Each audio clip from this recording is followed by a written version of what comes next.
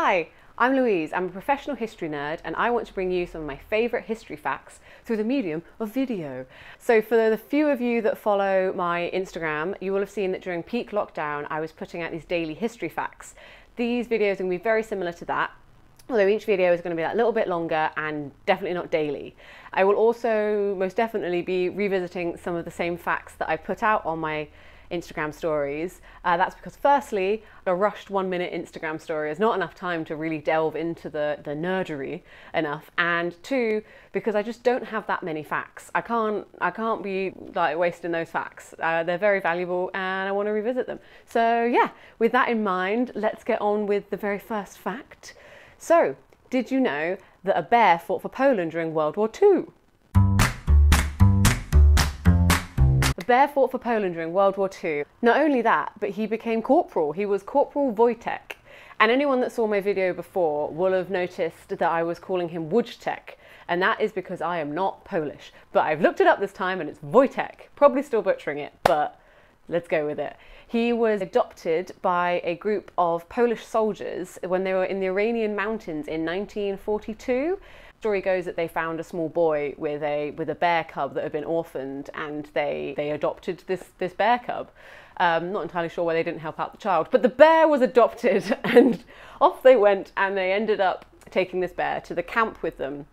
And he grew up there, and they fed him on milk and stuff until he was fully grown. And he would have been about over 400 pounds, so Wojtek. So he was a big old boy. There's news reports of how this story is actually going to become an animated movie soon. And you could just imagine that this would be the scene in the movie where they're on camp and Wojtek is with the soldiers and they're getting up to all these crazy antics, because apparently they did. Apparently there were antics. There was a story about him, he was wrestling with the soldiers, he would wrestle with the soldiers. He was meant to have caught a thief who came onto the camp to steal ammunition. And weird story about him stealing some women's underwear. Um, not not appropriate not appropriate Wojtek. But anyway, and also he was meant to have eaten their Christmas dinner, and you can just imagine him like them sort of in the montage of him growing up, getting up to these antics, and then like soldiers walk in and like, oh Wojtek, and he's like, Whoa. anyway. So yes, he grew up there and was much beloved and kind of became a mascot of the of this particular group of uh, Polish soldiers.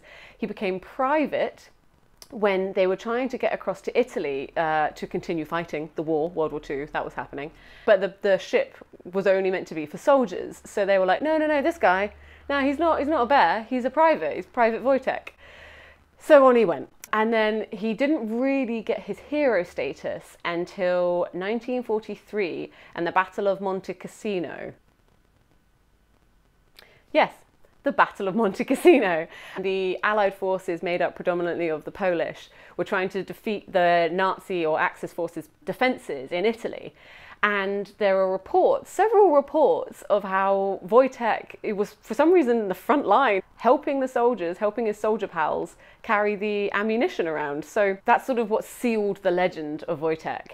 And that's also why this particular group of soldiers, their emblem, emblem, emblem, that's not a word. So this is really what sealed the sort of legend of Wojtek. And it's also why the particular group of soldiers, the 22nd Artillery Supply Company, why their emblem, emblem? their symbol, their flag, their badge became a, a bear with some weaponry, um, which was Wojtek helping them out with the ammunition, which I think is very cool. After World War II came to an end, he was, for some reason, they ended up in Scotland, and he uh, was retired to Edinburgh Zoo, where he lived until the 1960s when, uh, when he sadly passed away, as bears do. There we go, that's the story of Wojtek. You have got to be a little bit wary when it comes to the history of Wojtek because it's such a lovely, heartwarming story that people just like. I think sometimes there's this this this thing that can happen, this mistake that can happen where you kind of will stories into fact, if you know what I mean, because they're just so lovely that you would believe anything about it. Like myself included, you're just kind of a sucker for the story, and it's a bit like if someone was to tell me that he just did a little dance and to distract the Nazis, and that's how we won World War II. I'd be like, yeah, yeah, that seems plausible, definitely. Um, but that's also being a terrible historian. Don't do that. But yeah, so there we go. That's the story of Wojtek. He definitely existed. Uh, was the sort of mascot of the part of the Polish army, and it's meant to be a movie coming out about him. There's tons online, actually, to be honest. Articles, documentaries, uh, lots of YouTube videos. Give him a Google. There's there's a lot out there. So yeah, that's my fact. If you like this fact, uh, give it a give this a like or or a thumbs up, whatever medium I'm putting this out on. And if there's any um, history facts you want me to revisit or any eras that you particularly like and you want me to dig out some history facts from there, uh, that was me digging out history facts.